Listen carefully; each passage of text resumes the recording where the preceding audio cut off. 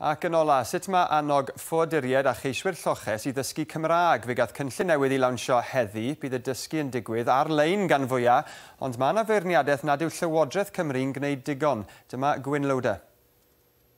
Van, and that one is a... fan, yeah. Camau cynta'r siwrne i ddysgu iaith. Cymraeg. Uh, in the Welsh language we call it Cymraeg. Uh. Cymraeg. Yn reiddiol o'r arfordir Eifori ers dwy flynedd mae Joseph Gnagbo yn byw yng Nghaerdydd. Cymraeg, e? Eh? Mae e wedi dysgu'r Gymraeg, a nawr yn gwirfoddoli i roi gwersi cychwynnol i fewn fudwyr a cheiswyr lloches y brifddinas. Mae'r iaith yn bwysig iawn i hawlus o uh, integreiddio, i, i, i integreiddio yn y gymuned ac yn y, yn y, uh, yn y cymdeithas. Heddi ddath cynrychiolwyr cwmni Say Something In Cyngor Ffoaduried Cymru ac Addysg Oedolion Cymru at ei gilydd gyda Joseph, oedd yno ar ran Cymdeithas yr Iaith, i lansio cyrsiau newydd rhad ac am ddim, i annog ffoaduried a cheiswyr lloches i ddysgu Cymraeg. Maen nhw'n lawer lwyth o um, y gwersi um, yn, yn gallu dysgu nhw yn defnyddio nhw pryd bynnag maen nhw'n moyn.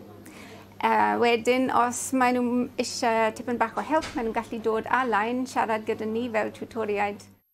Mae Llywodraeth Cymru'n dweud ei bod nhw wedi ymrwymo i sicrhau bod gan ffoaduried bob cyfle i ddysgu Cymraeg.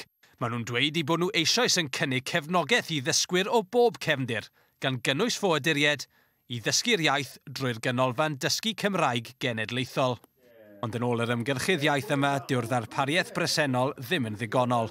Gyda'r cwrs blesu, ti'n uh, just yn uh, gallu dweud uh, um, sut dweud ti ac defnyddio y rhifau. Uh, Mae'n bwysig gallu yn siarad yn rhigol. Mae llywodraeth yn gwario arian i rhoi uh, cyfle i bobl dysgu Saesneg.